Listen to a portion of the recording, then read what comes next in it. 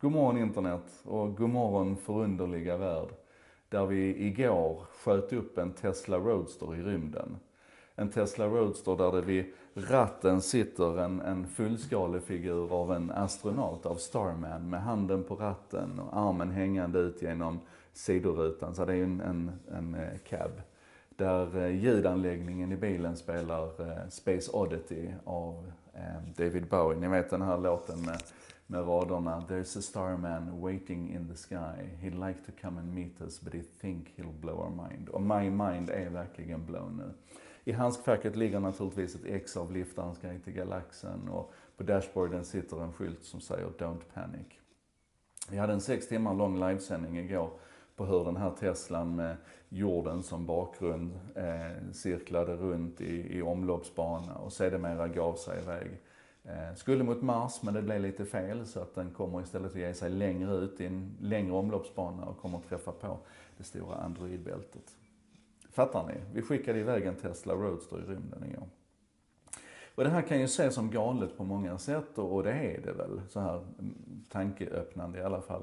Eh, och bakgrunden är följande. SpaceX, eh, Elon Musks eh, rymdbolag, kommersiella rymdbolag som har skördat stora framgångar med Falcon 9 och med, med sina återvinningsbara raketer som, som sänker kostnaden dramatiskt. Skickade igår upp den, den kraftfullaste kommersiella raketen någonsin. Den heter alltså Falcon Heavy och den kan ta 63 ton last jämfört med de 22 tonnen som Falcon 9 kunde ta jämfört med ungefär de 30 tonnen som den näst kraftfullaste kommersiella raketen kan bära upp idag.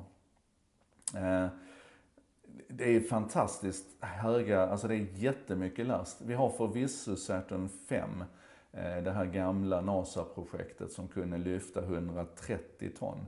Men det var en, en, eh, en helt annan skala vi pratar om då. En, en, en sån en sån raketuppskjutning kostade en, en miljard dollar ungefär och, och Falcon eh, Heavy räknar man med kostar 90 miljoner dollar. Alltså 90 miljoner dollar istället för en miljard. Det betyder ju att vi har öppnat upp rymden på ett helt nytt sätt. Och när han lanserade det här projektet med, med Falcon Heavy och sa nu ska vi skjuta upp den här, så sa han också då, Elon Musk, att vi ska lasta den med det fånigaste man kan tänka sig. Och, och det har varit mycket fram och tillbaka om man skulle skjuta upp den här Tesla Roadstern eller inte. Men nu har man i alla fall gjort det. Och man kan säga att det är en, det är en naturligtvis en PR-kupp, men det är också, jag menar man var tvungen att lasta den med någonting och man kunde inte ha en kommersiell last. För sannolikheten att en första uppskjutning ska gå åt pipan är ju så gigantiskt stor. Så man var tvungen att lasta den med någonting och varför inte passa på att lasta den med en, en Tesla och skoja till det lite grann. Jag menar det är, det är det som jag blir så fascinerad av i hela den här historien också. Det är hur vi, hur vi idag har ett helt annat, i alla fall möjligheten till ett helt annat förhållningssätt i rymden. Och kan vi driva utvecklingen så hårt i den frågan, tänk då hur vi kan driva utvecklingen, hur vi ser utvecklingen drivas i så många frågor som, som faktiskt är, är mycket enklare och mycket billigare. Eh, vi får väl också sammanfatta hur gick det då för Falcon Heavy? Och det är ju tre, tre raketer i, i, det, i det grundläggande steget så att säga. Och alla tre är det tänkt att man ska återvinna. De två sidoboostrarna, ni måste gå in och titta på nätet. Fantastiska bilder när de landade på landing ground 1 and 2. Helt i synk. Eh, fantastiskt magert. Ett, ett otroligt stycke ingenjörskonst. Eh, den tredje raketen, den som man kallar för Center Core, den skulle då landa på den här drönarflottan som, som ligger ute i, i vattnet och, och försöker pricka den här raketen. Och det var ju det man hade så mycket trubbel med när det gällde Falcon 9 och man hade så väldigt dramatiska bilder på när den landade och föll och, och sådär.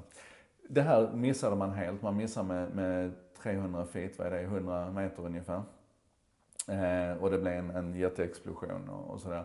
Eh, det är ju så. Det är, alltså man måste testa de här grejerna, man måste göra misslyckandena för att lära sig.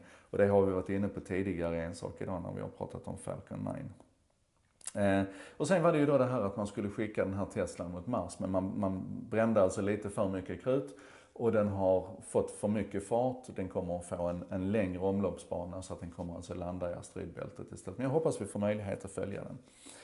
Jag ska också säga att, att samma dag som, eh, som SpaceX sköt upp Falcon Heavy så försökte Mad Mike skjuta upp sin hemmabyggda raket för att visa att jorden är platt. Så där är vi alltså. vi har verkligen en, en polariserad eh, värld och en polariserad eh, rymdutforskningsvärld just nu. Hörni, det, det, rymden är så spännande för den driver vår utveckling så långt. Jag kommer återkomma till den många gånger igen. Men det här var alltså En sak idag, avsnitt 142. Det skapades av mig, Joakim Jardenberg, med stöd från Bredband2 Contentor. Bredband2 är internetoperatören som gillar internet precis som jag och tror på teknikens möjligheter. Och många snackar med Bredband2 lyssnar bland annat genom att hjälpa till att sprida En sak idag. Sprida det goda samtalet runt oss.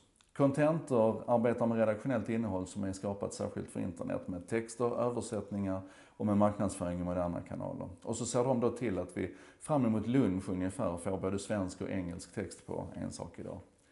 Tusen tack till Bredband2 Contentor och tusen tack till er som hjälper till då och deltar i det här samtalet så att vi kan lära tillsammans. Kommentera, sprid och häng på. Och så ses vi imorgon igen på ett helt annat ämne. Tack för idag.